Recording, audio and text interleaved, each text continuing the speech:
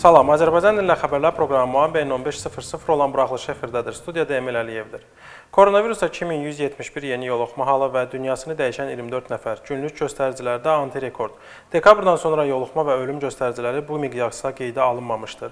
Ölkədə epidemioloji vəziyyət günü-gündən ağırlaşır. Mütəxəssislərin tələbləri isə dəyişməz olaraq qalmaqdadır. Maska taxılması və məsafənin qorunması, peyvəndləmə. Artıq 2 gündür ki, Çin istehsalı Sinopharmla immunizasiya prosesi aparılır. Səhər saatlarından Daxili İşlər Naziri və qurumun digər əməkdaşları peyvənd olunublar. Peyvəndləmə bölgələrdə də aparılır. Şidə Kartlidə Sinopharmla peyvəndləmə bu gündən etibarən başladı. Qeydiyyatdan keçən vətəndaşlar Qormet tibb şəbəkəsində peyvənd ediliblər. Həmçinin Müdafiə Nazirliyinin Qori Hərbi Hospitalında da peyvəndləmə mümkündür. Kaspi Kareli və Xaşuridə də peyvəndləmə aparırlar. AstraZeneca peyvəndinin ilk dozası vurulan və ikinci dozanı gözləyən şəxslər üçün qeydiyyat prosesi bu gündən etibarən başlayır. Saat 20:00-dan etibarən müraciət vərəqlərini doldurmaq mümkün olacaq. Peyvəndləmə isə mayın 10-dan etibarən başladılacaq. Ölkə sabah üçün 43 min dozadan artıq AstraZeneca peyvəndini gözləyir.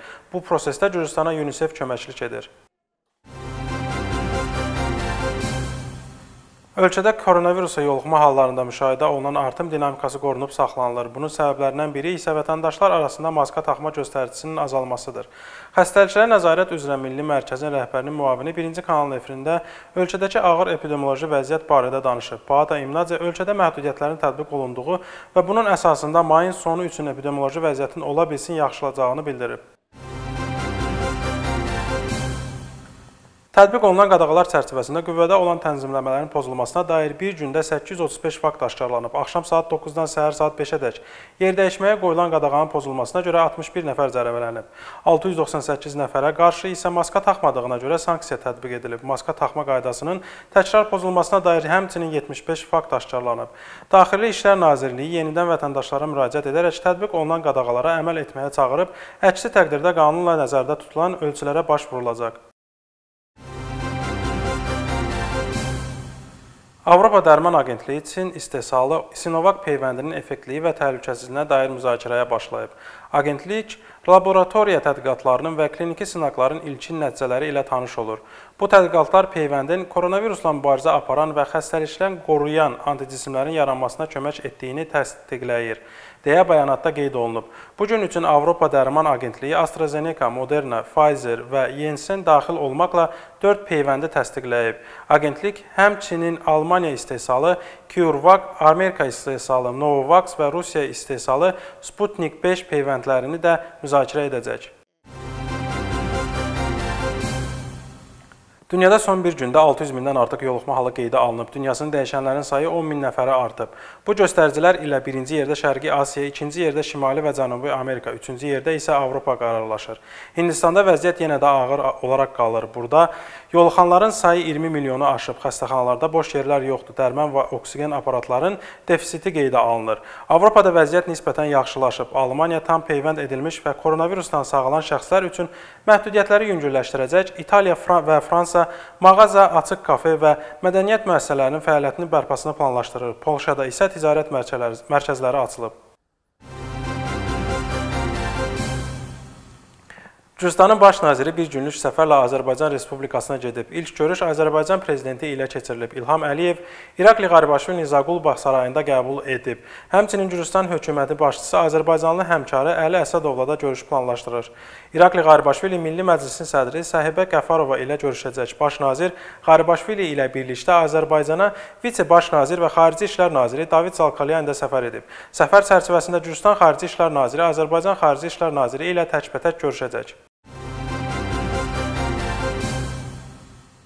İveri Melaşvili və Mtavari kanalının çəkiliş qrupuna edilən hücuma Daxili İşlər Nazirinin münasibət bildirib. Jurnalistlərin sualına cavab olaraq Vaxtan Komelaru bildirib ki, istənilən zorakılıq qəbul edilməzdir və mövcud materiallara əsasən istintaq başlanılıb. David Qareca məsələsində təqsirli bildirilən İveri Meliyaşvili və Mtavari kanalının çəkiliş qrupuna edilən hücum ilə əlaqədar Saqarıcı rayon Baş Polis İdarəsində gecə-gec saatlarına dək dindirilmələr aparılıb. Vəkillər İveri Melaşvilinin jurnalistlərlə birlikdə David Qareca çəkilişdə olduğunu və və elə bu zaman da onlara naməlum şəxslər hücum etdiklərini bildiriblər. Onlar Milaşvilin sözü şəkildə çəkiliş qrupunu isə fiziki təhqir ediblər. Baş verən hadisə ilə əlaqədar Gürcüstan Cinayət Məcəlləsinin 126-cı maddəsi ilə istintaq aparılır. Bu isə zorakılıq ilə əlaqədar maddədir. Amnistiya ilə əlaqədar Gürcü Arzusu Partiyası tərəfindən hazırlanan layihənin məzmunu məlumdur. Sənəd 2019-cu ilin 19-21 iyun hadisələri ilə əlaqədar cinayət törədən və bu qanunla nəzərdə tutulan qaydada olaraq yönəlik amnistiyanın şamil olunmasını imtina etməyən şəxslərin cinayət məsuliyyəti və cəzadan azad edilməsini nəzərdə tutur. Müxalifətin bir hissəsi bu təşəbbüslə razılaşmır. İkinci hissəsi isə hər iki qanunlayihə ilə tanış olduqdan sonra qərar verəcəyini bildirir. Tərəflər mövqelərdə yaxınlaşmanın olacağını ümid edirlər. Gürcüstan parlamenti amnistiya qanunlayihəsinin müzakirəsinə mayın 13-dən başlayacaq. Daxili İşlər Naziri Gürcü Arzusu tərəfindən amnistiya ilə əlaqədar hazırlanan qanun layihəni ədalətli adlandırıb. Vaxtan Komelaurinin sözlərinə görə 20 iyun məsələsində ən ağır maddə ilə Nika Meliaya yönəlik ittiham irəli sürülüb. Əgər amnistiya milli hərəkatın liderinə şamil olunursa, o zaman daha yüngül maddələrlə də təqsirli bilinən şəxslərə şamil olunmalıdır. Nik Ameliyanın girov məbləğinin ödənilməsi üçün onun icazəsinə ehtiyac varmı? Məsələ ilə əlaqədar artıq ikinci gündür ki, siyasi bəyanatlar verilir. Milli hərəkatdan girov prosedurları üçün Nik Ameliyanın razılığına ehtiyacın olmamasını və onun sərbəst qalmasının hakimiyyətin istəyindən asılı olmasını bildirirlər.